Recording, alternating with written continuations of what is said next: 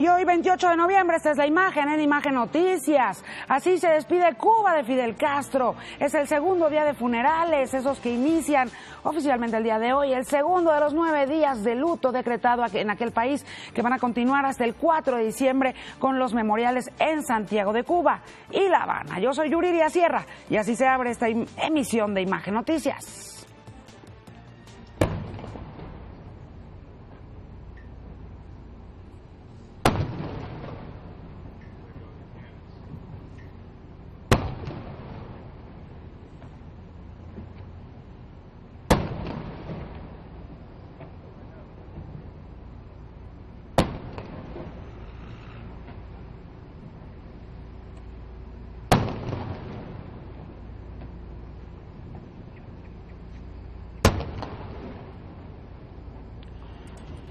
Y esto, esto es lo que está pasando ahorita. Como le digo, es el segundo día de funerales allá en Cuba. Eh, dieron inicio, dieron inicio estas, eh, pues, conmemoraciones mortuorias. Asistirán mandatarios de todo el mundo, entre ellos Enrique Peña Nieto. Sin libertad en Cuba no hay acuerdos, advierte Donald Trump. Y en México evacúan el hospital Arrasa por sustancias tóxicas. En Ohio un tiroteo deja siete estudiantes heridos. ¿Y qué más está ocurriendo alrededor del globo? Irá Mortado, cuéntanos. Hola Yuri, ¿qué tal? ¿Cómo están? Muy buenas tardes, excelente inicio de semana. Te voy a contar una peculiar costumbre o actividad que se llevó a cabo después de la muerte de Fidel Castro entre los jóvenes en redes sociales. Les voy a contar de qué se trata. Ahorita nos cuentas, Irán, y en los dineros, mi querido Rodrigo Pacheco. Yuri, te contaré un poco de cómo va el dólar, por supuesto, el desempleo en México y algunos datos curiosos de la revolución cubana y la economía, Yuri. Y en, el, en la, ahora sí que en tu cancha, Veraza. ¿Cómo estás, Yuri? Te saludo con mucho gusto. Estaremos platicando de las semifinales del fútbol mexicano. Están listas ya con horarios. También hay multa severa para Chivas por el tema de su mala transmisión en el partido América-Guadalajara. Y estaremos comentando también, por supuesto, del título de Copa Davis de Argentina. En el showbiz, mi querido Oscar Madrazo. Muy buenas tardes, feliz lunes. ¿Sabían ustedes que Fidel Castro probó suerte como actor en Hollywood? Eso y más les voy a platicar en Showbiz porque también analizaremos los comentarios de Gloria Estefan en redes sociales, de Silvio Rodríguez y por supuesto María Conchita Alonso que se puso bravísima. Muchos en la historia piensan, ojalá y le hubieran dejado ese reflector, pero ya lo platicaremos al ratito. Esto y más a lo largo de los próximos 60 minutos aquí en Imagen Noticias. Yuri Díaz Sierra, mi Twitter, Yuri Díaz Sierra Oficial, mi página en Facebook. Ya sabe que allá me escriben, yo aquí los voy leyendo.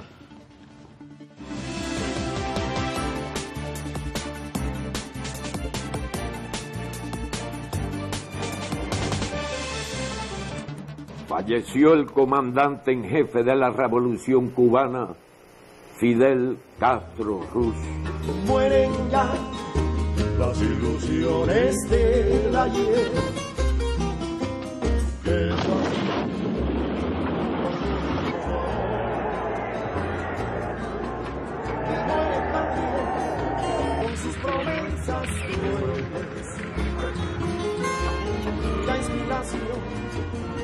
Día le brindé con candor para morir combatiendo en defensa de mi patria. Pensando en nuestro Que nadie sabía que yo venía, ni yo mismo. Buscaba en mí era el amor de loca juventud toda la solidaridad, todo el amor, todas las condolencias al pueblo de Cuba. Gracias, Che, por tu historia, tu vida. Eh, me agarró un llanto terrible porque fue como mi segundo padre. Alguien que me haga papel de aro. Yo ¿No es? ¿Eh? No te pongas tan... No, no.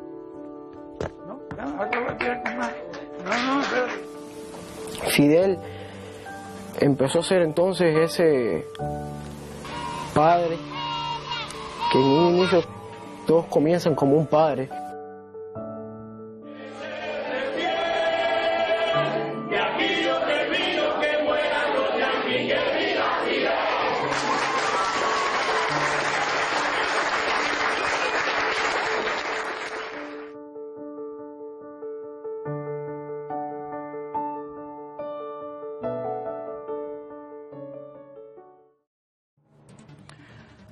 Fidel, ese revolucionario que liberó a Cuba de la opresión, solamente para él con el tiempo convertirse en el opresor único de Cuba.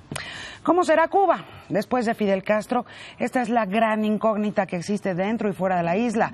La televisión cubana no ha parado de transmitir programas conmemorativos, en lo que se insiste que las ideas de Castro tienen eh, pues vigencia todavía y se dice que trascienden a su persona. Sin embargo, hay muchísimas dudas respecto a la naturaleza de la transición política cuando termine el gobierno de Raúl Castro, que él mismo anunció será en el 2018. Las declaraciones recientes de Donald Trump indican un endurecimiento en la política exterior de Estados Unidos hacia Cuba.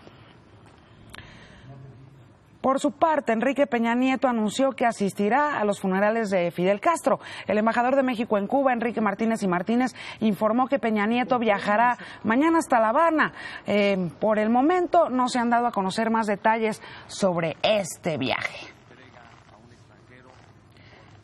Pero bueno, hasta el momento están confirmados nada más pues todos los dictadores o aspirantes a dictadores en el mundo y el presidente Enrique Peña Nieto. En, en, la Embajada de Cuba, aquí en la Ciudad de México, se encuentra mi compañero Carlos González. Voy contigo, Carlos, adelante. Gracias, Yuri. Muy buenas tardes. Bueno, pues como lo puedes ver, siguen las manifestaciones eh, aquí justamente en, en, la Embajada de Cuba. Manifestaciones, pues eh, sobre todo de cariño, el dar el pésame a los cubanos y lo hacen justamente aquí en esta reja de la embajada cubana donde vemos mensajes, cartulinas, mantas, vemos la bandera de Cuba, la bandera de México y bueno, por supuesto también todos estos ramos de flores que comenzaron a traerlos desde las últimas horas del viernes y bueno, durante sábado, domingo y el día de hoy ha habido todas estas muestras de estas personas que llegan a este sitio. Sin embargo, también, bueno, pues se ha abierto el libro de condolencias justamente en el interior de la embajada. Es eh, abierto al público en general, así es que bueno, pues estamos aquí en este punto y es lo que tenemos que informar. Muy buenas tardes. Muchas gracias, Carlos. Estamos al pendiente. Los presidentes Rafael Correa de Ecuador, Nicolás Maduro de Venezuela, Daniel Ortega de Nicaragua y Evo Morales de Bolivia son los que ya han confirmado su asistencia, como le decía, a los funerales de Estado de Fidel Castro. También estará presente eh, Juan Carlos I, rey emérito de España. Quienes ya anunciaron que de plano no van a poder viajar a Cuba son el presidente ruso Vladimir Putin y el líder norcoreano Kim Jong-un. Yo me enlazo hasta Cuba. Paola Barquet, tú andas por allá.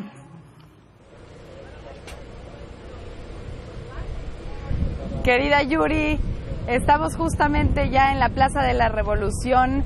Fíjate que, eh, bueno, el día de ayer tú y yo tuvimos oportunidad también de platicar para radio y bueno, pues el día de hoy se están llenando sin duda las calles también de cubanos que están pues por ver a Fidel. Ahora quiero platicarte algunos detalles que han resultado muy interesantes. Primero que nada, no hay cenizas de Fidel. Eh, lo único que podemos ver hasta ahorita son dos fotografías más o menos de los años 70 en donde Fidel Castro porta eh, pues este militar eh, pues atuendo que le vemos comúnmente. Obviamente están las flores que también lo acompañan y hay una guardia de honor, eso sí, pero las cenizas de Fidel no están en el lugar y a pesar de esto los cubanos llegan por decenas, por cientos, por miles en guaguas, en los famosos almendrones y así es como están llegando. En realidad van por ellos a los trabajos, los suben a estos almendros, a las guaguas y los traen hasta este lugar para pues vivir el luto de la muerte de Fidel Castro. Ahora quiero platicarte también eh, que hemos estado observando detenidamente cuál es, por ejemplo, el atuendo, ¿no? La ropa con la que llega la gente a este lugar, porque también habla del sentir. Y déjame decirte que no hay luto alguno en, el, en, la ropa, en los colores, no están portando vestimenta negra ni mucho menos. La gente llega en shorts, en camiseta, estaban en sus trabajos y simple y sencillamente lo subieron a las guaguas para llegar hasta aquí. Ahora, sobre el sentimiento que hemos recogido en los sondeos distintos que hemos hecho desde que llegamos aquí, eh, puedo decirte que en las palabras en las palabras de los cubanos sí hay eh, pues cierto dolor, pero también debo decir que en las caras no hay un sentimiento eh, a flor de piel, no se ve un drama, no se ve un llanto eh, continuo ni mucho menos. Sí hemos sin duda visto a gente sufrirlo, pero no eh, en aquel tono en el que hubiéramos quizás esperado después de pues la vida larga vida de este pues líder cubano. Yuri. Pues te agradezco mucho, Paola Barquete, tu reporte desde La Habana. Muchas gracias, Yuri. Por supuesto que lo que seguramente planea los cielos allá en La Habana y en todas las ciudades eh, de aquella, la isla, la isla que algún día fue la isla de los hermanos Castro y nada más de los hermanos Castro, son signos gigantescos, signos de interrogación que tienen más que ver con Donald Trump que con Fidel. Porque si bien el, el, viernes por la noche se dio la muerte biológica de Fidel Castro, su muerte política venía aconteciendo desde hace 10 años. Eh, los próximos días y semanas acaso meses, sabremos qué es lo que le depara a la Cuba, a la Cuba sin Fidel, pero sobre todo a la Cuba que tendrá enfrente a Donald Trump. Tras la muerte de Fidel Castro, Donald Trump, como le decía, advirtió en su Twitter que si Cuba no está dispuesta a ofrecer mejores condiciones para el pueblo cubano y los cubano-estadounidenses, revertirá los acuerdos de apertura a los que llegó Barack Obama, el presidente eh, que le, antece, le ha antecedido en ese cargo.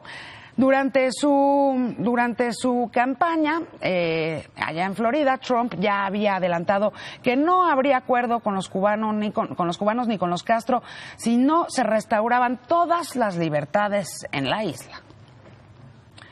Fueron 90 años los que vivió Fidel Castro. ¿Cuánto, cuánto se puede contar en todos, en todos esos años, en esos 90, en esas nueve décadas? Bueno, cheque. Falleció el comandante en jefe de la revolución cubana, Fidel Castro Ruz. Mueren ya las ilusiones ayer.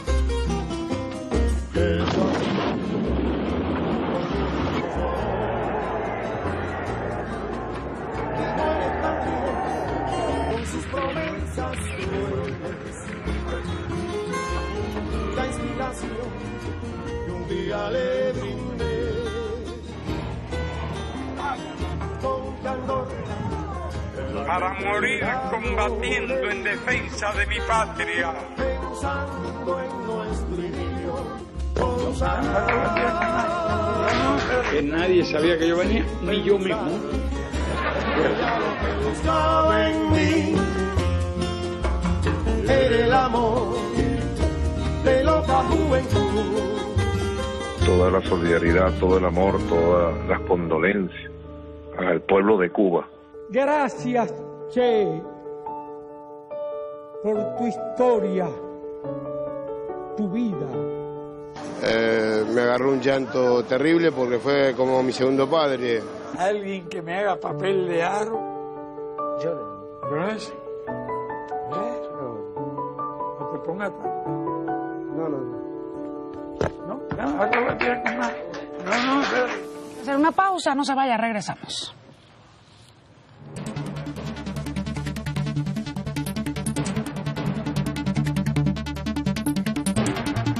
Información nacional, evacuaron de emergencia el hospital La Raza debido a la presencia de un paciente contaminado con fósforo de aluminio, un pesticida extremadamente tóxico para los humanos y el resto de los mamíferos de sangre caliente. Wendy Roa, tú te encuentras por allá con más información, estás en el lugar de los hechos, adelante. Efectivamente, Yuri, muy buenas tardes, buenas tardes a tu auditorio. Pues fue alrededor de las diez y media de la mañana en el Hospital La Raza cuando se activó el protocolo de seguridad, esto por el ingreso de un hombre de 38 años de edad, el cual presentaba náuseas, vómitos, dolor abdominal, dificultad para respirar y opresión torácica. Al ser revisado por los médicos, refirió ser transportista procedente de Tabasco y traer un contenedor de cacao a una fábrica de chocolate, esto en la colonia San Simón Tonáhuac.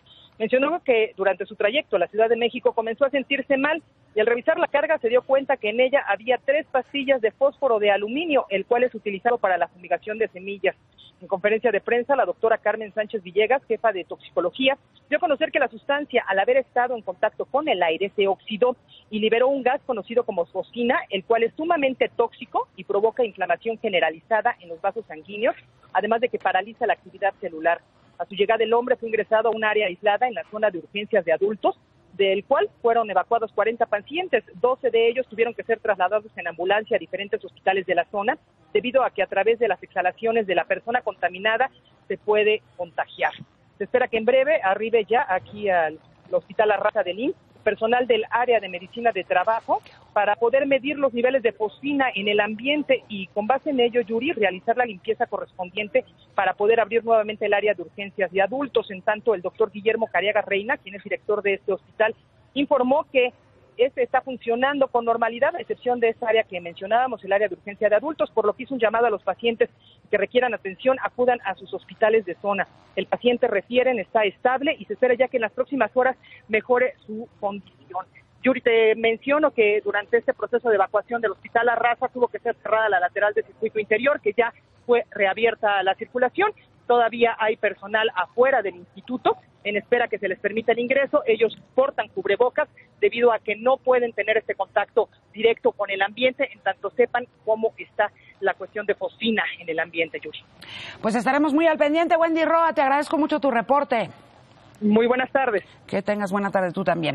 Vamos hasta Oaxaca. Allá integrantes de la Confederación de Trabajadores de México han acordonado con sus vehículos todas las inmediaciones de la Cámara de Diputados en el municipio de San Raimundo Jalpan, en la ciudad de Oaxaca, para impedir que integrantes de la CENTE intervengan en la toma de protesta de Alejandro Murat como gobernador del estado. Yo voy justamente hasta Oaxaca con nuestro corresponsal, perdón, José de Jesús Cortés. Tú nos tienes más detalles. José, adelante. ¿Qué tal, Yuridia? Muy buenas tardes. Te saludo desde Oaxaca y te informo que este jueves tomará protesta el nuevo gobernador de Oaxaca, Alejandro Murat Hinojosa. Te comento que ante este hecho, por parte de la sección 22, que anunció ayer un paro de 48 horas para bloquear la sede del Congreso Estatal, el Palacio de Gobierno y además realizar al menos una veintena de bloqueos carreteros en todo el estado. Te comento que por esta razón la Policía Estatal resguarda ya desde este domingo los accesos al Congreso del Estado, restringiendo la circulación vial y peatonal en de esta sede legislativa. Te comento también que transportistas adheridos a la Confederación de Trabajadores de México se instalaron desde el domingo en los accesos al recinto legislativo como apoyo al nuevo gobernador y por estas movilizaciones de la sección 22 se anunció también ya un paro de 48 horas que afectará la educación de aproximadamente un millón de estudiantes oaxaqueños. Este es el reporte Yuriria desde Oaxaca. Muy buenas tardes. Eso allá en Oaxaca. Muchas gracias, muchas gracias, José. Eso allá en Oaxaca, pero aquí en México, Enrique Peña Nieto le dijo a la militancia del PRI que no hay razones para desanimarse. Eso les dijo él. El presidente de la República brindó un discurso en el marco del Consejo Político Nacional de su partido, donde se reunió la primera plana del priismo. Para Peña Nieto, primero debe hacerse un programa de gobierno y hasta que ya lo tengan, entonces, dice él, buscarán al candidato.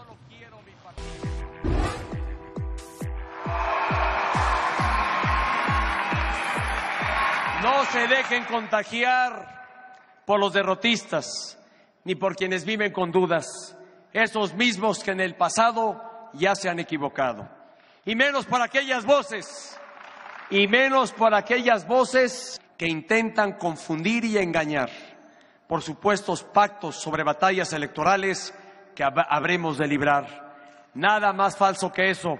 Los priistas amamos a México, queremos a México y por eso vamos por todo y con todo para lograr que el PRI triunfe en las próximas elecciones.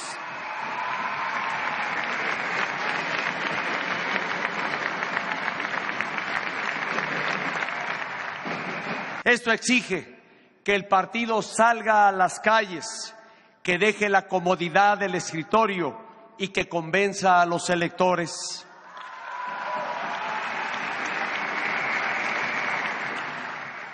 Esa, esa es la ruta así de elemental, pero al mismo tiempo así de desafiante.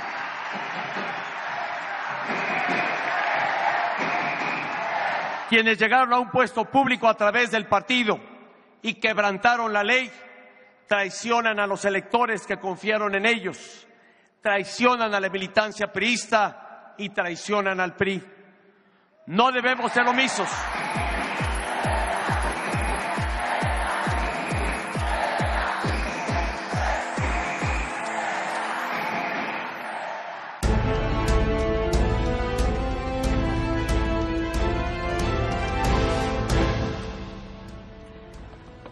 Bueno, por supuesto que la muerte de Fidel Castro ha sido la noticia alrededor del mundo en todo el fin de semana, mi querido Irán Hurtado.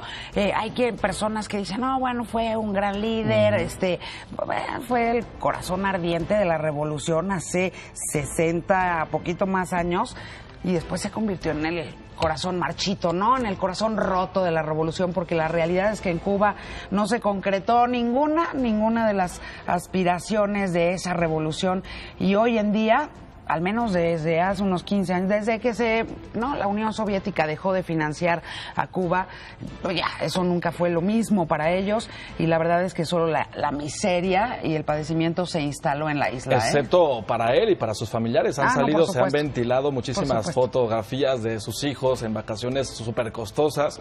Eh, también va a salir una biografía que escribió uno de sus eh, guardaespaldas, donde se dicen muchas cosas de los ranchos que tenía allá en Cuba, de los lujos que se daba.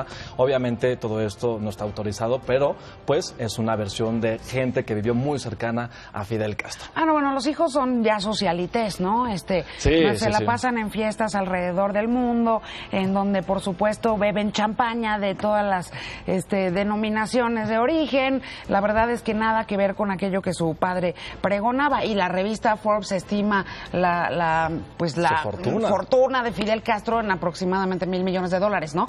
Pero bueno, en realidad lo que, lo que es muy triste es que todavía hoy en día haya quienes con los ojos muy cerrados crean que, que Fidel Castro encarnó la libertad, encarnó la democracia, encarnó pues de la prosperidad para el pueblo que hoy en día sigue padeciendo brutalmente, Exactamente, ¿no? Los, los personajes como él, los odias o los amas, ¿no? No hay como puntos medios ni tiendas medias con él.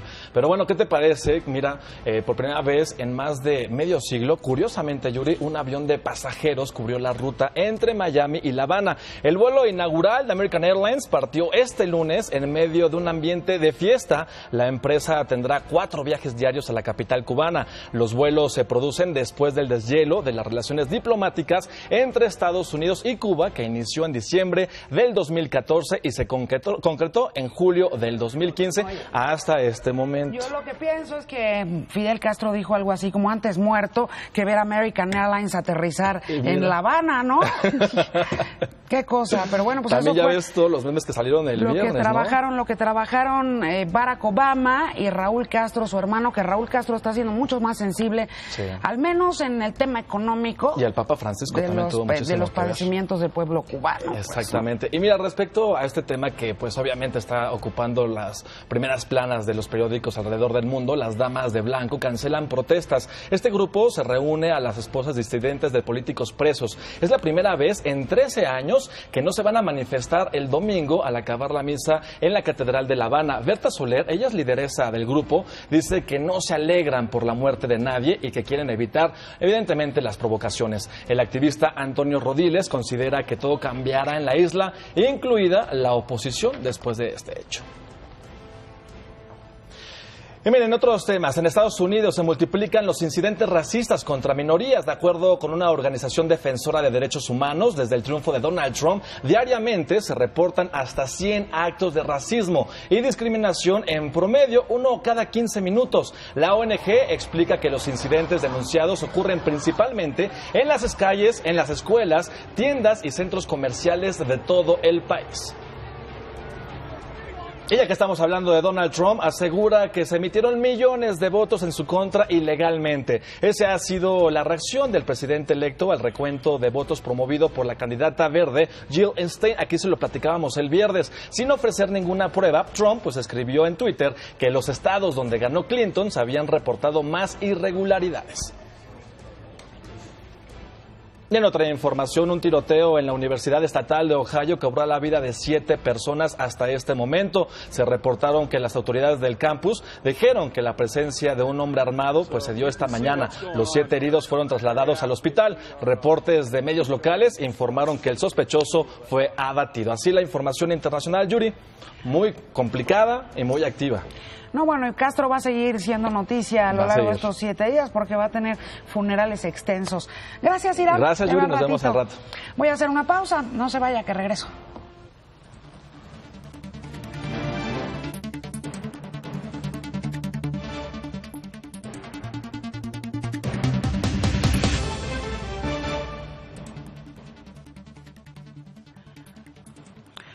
Margarita Zavala tuvo un revés en la FIL Guadalajara durante una firma de ejemplares de su libro Margarita, mi historia. Un joven llamado Francisco Rodríguez se acercó a la aspirante presidencial y desplegó este cartel que va a ver, va a ver usted enseguida que dice lo siguiente. Su esposo le arrebató la vida a mis padres. ¿Usted quiere arrebatármela a mí?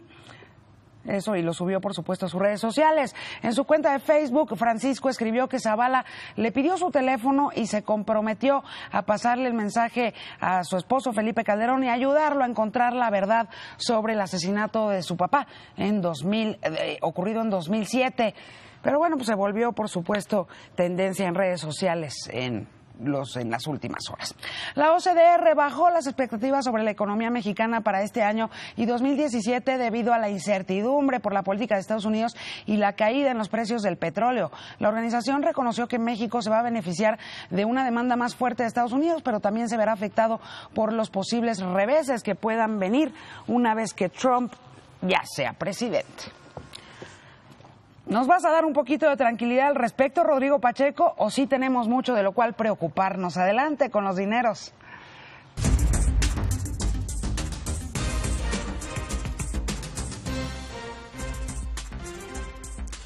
Yuri, pues sí, muy extraña la OCDE que ahora ve pues no tan mal a Donald Trump, por lo menos en los siguientes dos años, como ya mencionabas, pero sí afectando a México. Y te iba a dar buenas noticias porque el peso se iba recuperando a lo largo del día, pero ¿qué crees? Que en los últimos minutos ha vuelto a los niveles de 20 pesos con 95 centavos a la venta y bueno pues eso eh, había habido una apreciación del dólar una depresión del dólar frente al conjunto de las monedas del mundo sin embargo esto ha quedado en reversa y hemos quedado prácticamente igual que desde el viernes. Por otro lado, Yuri, se dieron a conocer datos del desempleo en octubre. Se ubicó la tasa de desocupación en 3.6%, lo que significó una evolución positiva con respecto al 3.8% que se había registrado en septiembre. Hay que decir cómo se mide el desempleo en México, que está de acuerdo, claro, con la propia OCDE y con los criterios internacionales. Bueno, van, le preguntan a alguien, oiga, ¿usted trabaja? Sí, ¿qué hace? Vendo pepitas. Ok, está usted ocupado. Claro, le pueden preguntar si quisiera trabajar más y si no lo hace por temas de no encontrar en dónde, y esa se llama subocupación. Esa también disminuyó a 7.7%, mientras que la informalidad, eso que es el que vende pepitas, pues se mantuvo, o más bien estuvo alta, 57.4% Yuri. Hubo un ligero deterioro con respecto al eh, mismo mes del año pasado, octubre de 2015. Eso quiere decir que más o menos 6 de cada 10 personas eh, que trabajan en México lo hacen en la informalidad. Los estados en donde hubo más desempleo fue Tabasco, que le ha ido muy mal por el tema petrolero, claro. Ahí Pemex eh, juega un papel importante, se ubica en más de 7%. Por otro lado, Estado de México, que anda en 5.6%, pero bajó un poco. Y a la baja, los que tienen el menor desempleo o desocupación, más bien, son Guerrero y Oaxaca, andan en 1.7 y 1.8 respectivamente, pero claro, la informalidad ahí es superior al 80%, es decir, 8 de cada 10 se mueven en la informalidad. Por otro lado, Yuri, y brevemente algunos datos curiosos de la Revolución Cubana. Decir que en la Revolución Cubana el Che Guevara era el banquero central, firmaba los billetes de 5 pesos como Che, y bueno, pues es un dato realmente extraño, nadie se acuerda que el Che fue banquero y ministro de Industria. Por otro lado, también Yuri, decir que Bacardí se tuvo que ir de Cuba, era este ron, que ahora pues, está fincado en Bahamas, es su sede, no, en las Bermudas. Y por otro lado, también mencionar que de 1960 a 1990, la Unión de Repúblicas Soviéticas le prestó a Cuba 65 mil millones de dólares, de los cuales le pagaron 0.6%, o sea, nada, a los soviéticos que le transfirieron muchos recursos. Y en ese contexto, México le prestó 487 millones de dólares a Cuba y se los condonó. En 2013, eh, Bancomex lo hizo porque, pues claro, no nos iba a pagar. Y bueno, algunos de los datos curiosos que se observan en el comercio internacional México-Cuba actualmente es de poco más de 400 millones de dólares. Realmente, pues no hay implicaciones mientras no se vaya del poder Raúl Castro en términos de la muerte de Fidel Castro y la economía cubana, que se venía abriendo lentamente, pero luego del tuit de Donald Trump, se me hace que se van a poner conservadores los cubanos y se tardarán más tiempo. Así las cosas, Yuri pues algunos datos que, que, parecen curiosos, pero no lo son tanto porque nos hablan eh, también mucho sobre lo que ha sido la realidad económica sí. eh, justamente del régimen castrista a lo largo de pues los prácticamente sesenta y tantos años que llevan allá en el poder los Castro en la isla de Cuba. Muchas gracias, Rodrigo. Gracias, Yuri. Te veo al ratito. Nos vemos al rato. El alcalde de San Blas, Nayarit, Hilario Ramírez, mejor conocido como Lallín, o el alcalde que robó poquito, bueno, pues ahora donó 50 mil pesos a personas de la tercera edad Esto durante el concierto de Julián Álvarez allá en San Blas. El alcalde bailó y cantó en el escenario. Dijo que Julián también lo va a acompañar el 30 de diciembre para la celebración de su cumpleaños. El amigo Lallín, el amigo de todos. Así se describe Hilario Ramírez Villanueva, alcalde de San Blas, quien se hizo de fama a nivel internacional debido a las polémicas que ha generado, como reconocer que robó pero no más poquito en su primer mandato. El amigo Lallín ha hecho historia al ser el primer alcalde independiente que ha tenido Nayarit. El reparto de dinero y la polémica han sido parte de su administración. El amigo Lallín, el amigo de todos, ha sido una donación de 100 mil pesos en este momento. Lallín en su municipio no puede recorrer una cuadra sin que decenas de personas se acerquen a saludarlo mientras reparte billetes de diferentes denominaciones y cerveza a los turistas. Yo lo que tengo, lo poquito que tengo, se lo debo a Dios y al pueblo.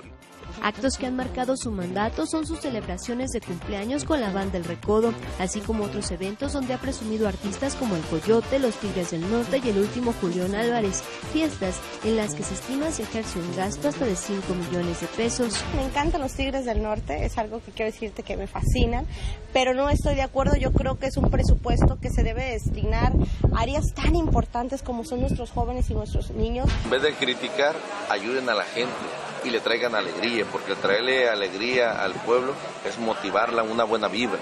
La actitud del hombre que todos los días viste de la misma forma ha logrado obtener simpatizantes a lo largo del estado, pero también el rechazo de sus trabajadores. A nosotros nos debe exactamente ya dos quincenas y con la que va corriendo es la tercera. Es candil de la calle y oscuridad de su casa.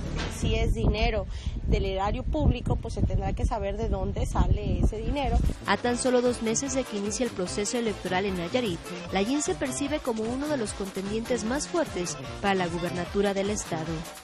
Para imagen, Carla Méndez. Sí, porque además, no nada más porque robó poquito, sino también porque le levanta las faldas a las mujeres que bailan con él. Qué cosa. Mejor cambiemos de tema, vamos a tu cancha, mi queridísimo Juan Carlos Veraza. Oye, otro de los eh, datos curiosos de Fidel Castro que pocos saben es que antes de empezar su revolución quiso ser beisbolista en las grandes ligas allá en Estados Unidos. No pudo, pues fracasó, pero quiso. ¿De qué quiso? Quiso. Eh, te saludo. A decir, así como es conocido el rey de los deportes, pues es el béisbol allá en la isla, en Cuba. Eh, Fidel Castro siempre fue un gran aficionado y se sabía, por supuesto, que tenía una gran pasión por practicar también este extraordinario deporte que Cuba adoptó de los Estados Unidos y se convirtió, insisto, en su pasatiempo nacional, así como se dice en nuestro vecino país del norte. Nos vamos con información ocurrida durante el fin de semana con un golazo de Oribe Peralta. El América eliminó al Guadalajara una vez más en los cuartos de final y así se quita un poco el sabor amargo de haber quedado fuera en la Copa, de haber perdido en la Liga. Ahí está el golazo de Oribe, impresionante. Me recuerda mucho al que le anotó a la selección de Brasil el 2 a 0 en Wembley para que México terminara con la medalla de oro en los Juegos Olímpicos de Londres. El centro eh, extraordinario, se adelanta la marca y con esto América está en la siguiente ronda. Hablando de este partido, durante este duelo que fue transmitido por Chivas Televisión, hubo muchas fallas en la transmisión y la Profeco y el señor Ernesto Nemer, el procurador, pues anunciaron en la mañana que llegará una multa de 5 millones, casi 6 millones de pesos, 5 millones 680 mil pesos a Chivas por cláusulas abusivas del contrato de prestaciones de servicio ante las fallas y denuncias reportadas por usuarios aunque esto ya viene desde agosto, desde que hubo fallas en el partido entre Monterrey y Guadalajara. Se iniciarán nuevos procedimientos por infracciones a la ley contra Chivas TV y Cinépolis Click. Este último, esta última empresa, en su cuenta de Twitter notificó que se va a hacer un reembolso total en un lapso de cinco días hábiles, reiterando que seguirán trabajando para evitar fallas futuras. El rival de América en la semifinal será Necaxa, en un partido complicado, en un partido difícil, en el que terminó inclusive en los últimos minutos con un hombre menos. Necaxa aguantó el cero en su marco e hizo valer el 2 a 1 de la ida. Con esto, Necaxa está de regreso en semifinales por primera vez desde el torneo de verano del el 2002, en el que curiosamente jugó la final contra América. Ahora se estarán viendo las caras en las semifinales. Y están listos los partidos de semifinales con los días eh, León Tigres 30 de noviembre estarán jugando a las 20:36 en el Estadio León. Al día siguiente Necaxa América primero de diciembre a las 21 horas en el Estadio Victoria. Los partidos de vuelta el fin de semana Tigres recibirá a León el 3 de diciembre a las 19 horas en el Universitario y América hará lo propio recibiendo a Necaxa el 4 de diciembre a las 8 de la noche en el Estadio Azteca. Hablando de fútbol americano, Tom Brady sigue siendo un hombre que da de qué hablar y en esta ocasión por cosas positivas, no por suspensiones. Brady llegó a 200 victorias en su brillante carrera y así alcanzó la marca de Peyton Manning que consiguió la temporada anterior, por lo que cuando termine esta campaña, Brady estará muy por encima de Manning, 200 triunfos en su carrera. Además, el quarterback de los Patriotas ya rebasó las 60 mil yardas aéreas, convirtiéndose en el quinto pasador que supera esta cifra. Así están las cosas con la NFL y repasamos rápido los resultados del el domingo, en donde pues se destaca precisamente el triunfo de los Patriotas. Ahí está el triunfo de Tennessee sobre Chicago. También ganaron los Bills de Buffalo, la victoria de Baltimore, primera en seis partidos contra Cincinnati. Atlanta, con la mejor ofensiva de la liga, le ganó fácilmente a Arizona.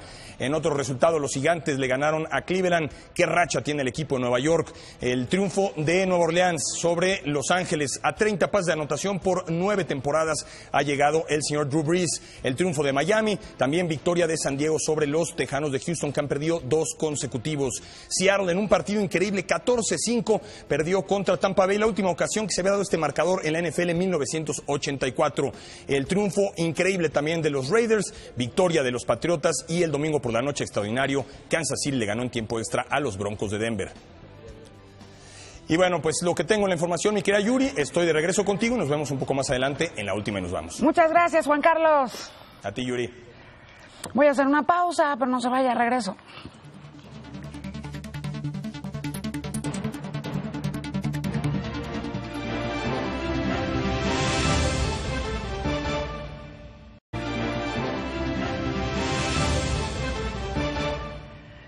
Oscar Madrazo, ¿qué madrazo hay en el showbiz? Adelante.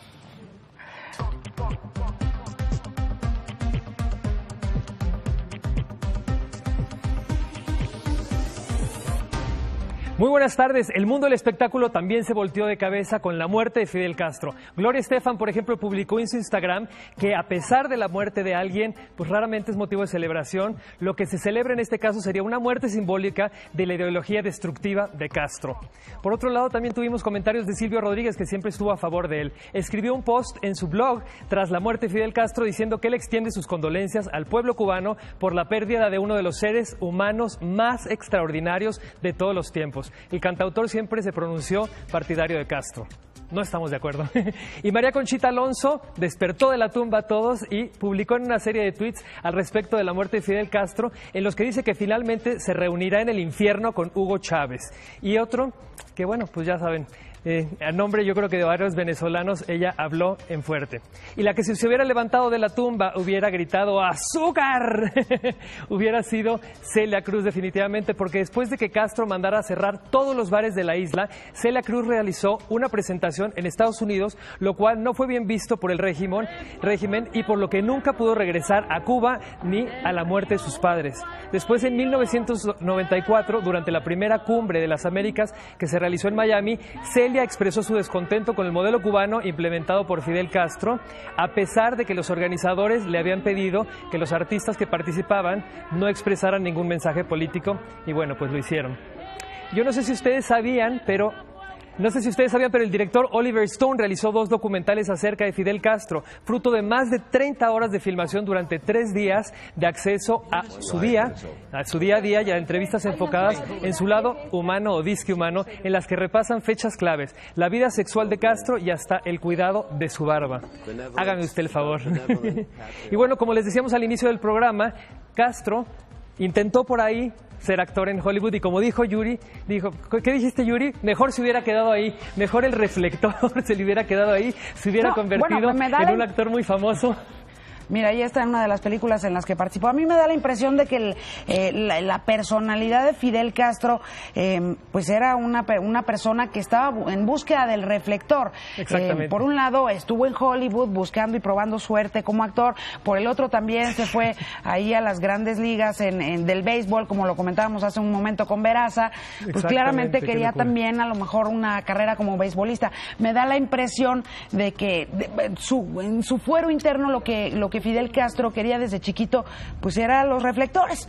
Y como fracasó en, la, en, en el diamante y como fracasó en la meca del cine, pues terminó haciendo Eso me suena a Trump, eso me suena a Trump. pues sí, como lo dices, él estuvo como extra en dos películas dirigidas por George Sidney, Escuela de Sirenas y Vacaciones en México. Esto se dio a conocer a finales de los años 90 por un investigador uruguayo y el director de orquesta Javier Cugart, quienes lo descubrieron como el típico latinoamericano, Latin American Boy, en la escena de Vacaciones en México. Y bueno, luego vimos a Castro ahí como bailarín en una escena de Escuela de Sirenas, pero esta fue eliminada en la versión de video. Qué lástima, yo lo quería ver. Muchas gracias, nos vemos más tarde en la última y nos vamos. Ahorita nos vemos, mi queridísimo Oscar. Voy a hacer una pausa, pero, ah, no, antes de la pausa voy contigo, Adri Treviño. Cuéntanos cómo pintan los cielos y los termómetros mexicanos. Adelante.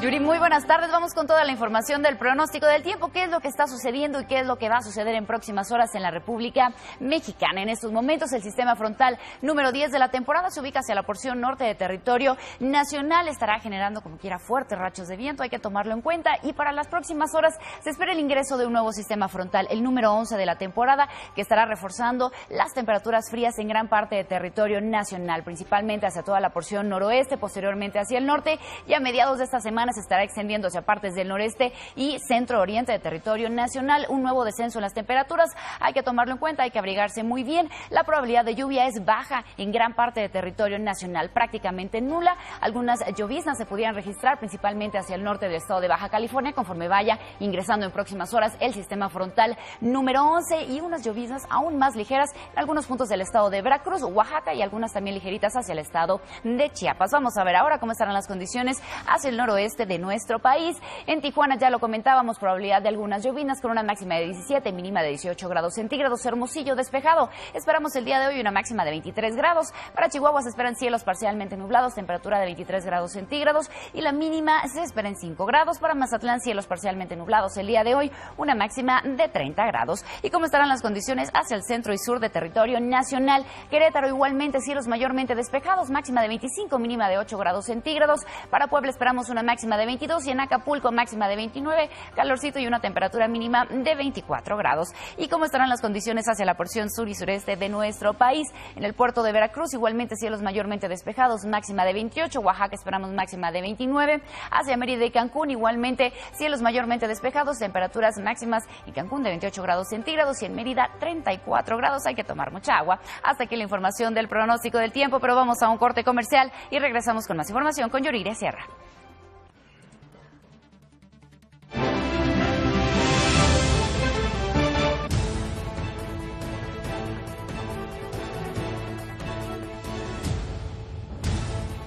Si al menos se hace. Y esta es la última y nos vamos. Renato Sales, el comisionado nacional de seguridad, aclara que aunque continúan las investigaciones para dar con el paradero del gobernador con licencia y prófugo de la justicia, Javier Duarte, no existen plazos para su localización. Bueno, le había dicho que ya le estaban pisando los talones. Miguel Ángel Yunes, gobernador electo, anunció que la Marina seguirá en Veracruz por instrucciones de Enrique Peña Nieto. En el mundo irá Murtado. En el mundo, Texas acaba de confirmar su primer caso de Zika después de Florida. Es de una mujer embarazada en Brownsville, entonces hay que tener mucho cuidado.